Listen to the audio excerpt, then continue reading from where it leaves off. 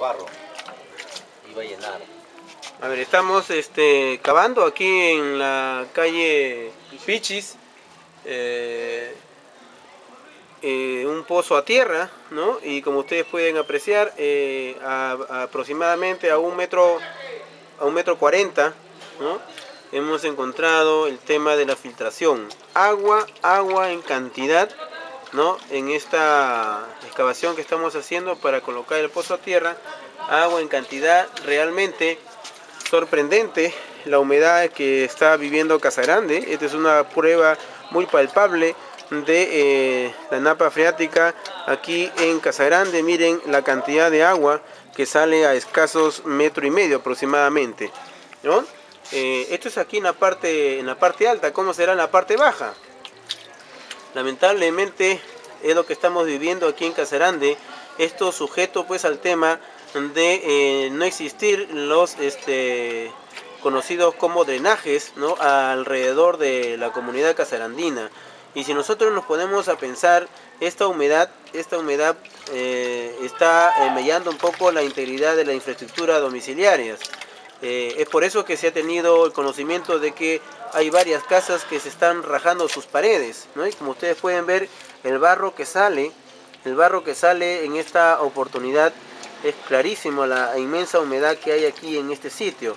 ¿no? Eh, está ya drenando el agua, está llenándose el pozo de la filtración que hay aquí en esta localidad, ¿no? Eh, y lamentablemente pues este lo único que podemos ver es que esto es dañino para las infraestructuras eh, domiciliarias, ¿no? Gran humedad, aquí no es cuestión de que se ha roto una tubería, nada por el estilo, ¿no? Aquí está drenando del mismo suelo el agua que ha comenzado a llenar este pozo, ¿no? Ahí está una muestra clara, una muestra clara de que eh, es producto eh, de la filtración de agua que se vierte a partir del riego de caña alrededor de Casa Grande.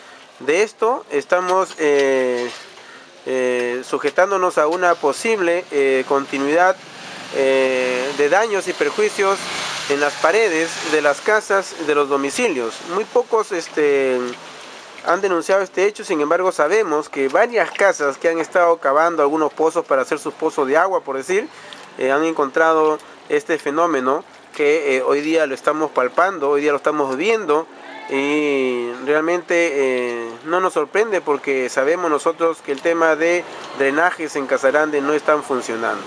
¿no? Esto es la clara muestra del gran riesgo que pueden tener nuestras casas aquí en Casarande, de gran riesgo a la humedad, inclusive eh, sabemos nosotros que los domicilios en los cuartos, la mayoría aquí en Casarande está sufriendo de resfríos y justamente es por la humedad, de alergias y justamente es por la humedad que se filtra las paredes. Y uno dice, las cañerías están malogradas, ¿no? Eh, acá no llueve muy continuo para que podamos decir que también las lluvias son las que perjudican, no. Aquí lo que estamos viendo es el agua y la humedad del subsuelo, ¿no? Que eh, hoy día, aproximadamente eh, a las once y media de la mañana, hemos podido detectar en la excavación que estamos haciendo para colocar el pozo a tierra.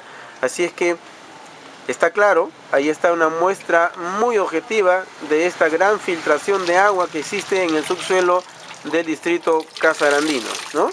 Ahí está, miren, la cantidad de humedad lamentable, ¿no? Que eh, se ve así, pero estamos nosotros eh, observando este problema de humedad en el subsuelo de Casa Grande.